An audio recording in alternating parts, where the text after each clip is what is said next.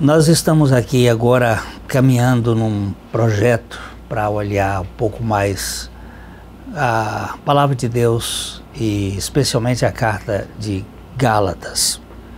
Paulo, apóstolo, não da parte de homens, nem por intermédio de homem algum, mas por Jesus Cristo e por Deus Pai que o ressuscitou dentre os mortos. Paulo, ele começa dizendo que ele não passa de um pequenininho. O nome dele antes era Saulo.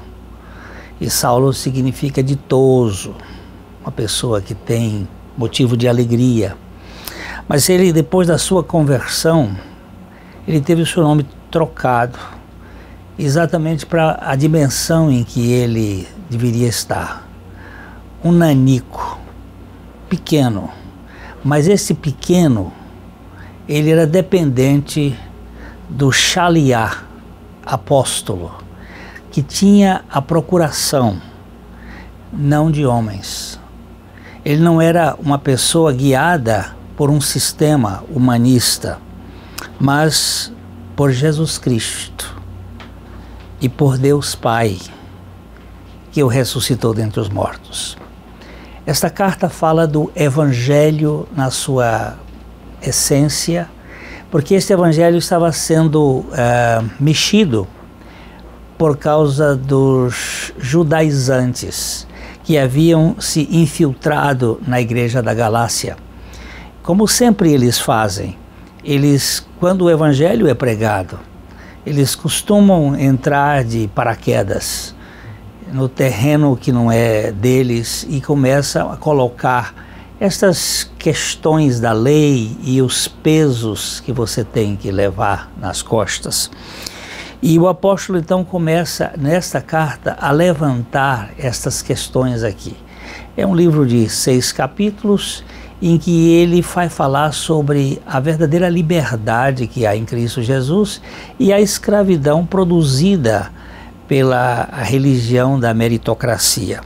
E ele então apresenta as suas credenciais como apóstolo, que ele não era um apóstolo formado numa universidade, nem num seminário, nem por feito pela, pela cultura dos homens, mas ele foi feito numa estrada, quando Deus o, o escolhe e o leva para um seminário que na verdade é um cemitério.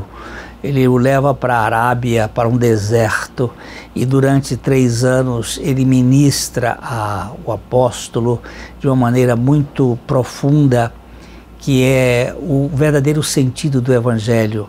Não esse Evangelho que você é, tem que fazer as coisas para merecer, mas o Evangelho da graça. O apóstolo Paulo é realmente aquele que experimentou na sua carne o milagre do Evangelho. Ele não tinha só uma mensagem para pregar, ele tinha uma experiência para proclamar de vida, e essa experiência foi o milagre do desarraigar, do retirar as suas raízes deste mundo e depender da graça de Deus.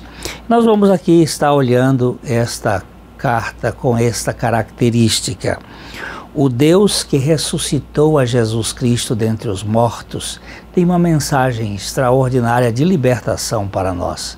Nós não podemos viver com um cabresto preso na nossa cabeça, onde as proibições e os controles do legalismo vão nos mantendo é, sob júdice de uma religiosidade adoecida.